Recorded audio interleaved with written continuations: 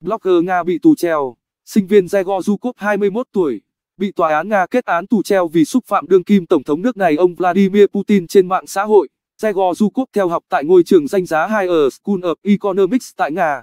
Sinh viên này bị bắt giữ từ mùa hè vì tham gia chiến dịch biểu tình đường phố chống ông Putin.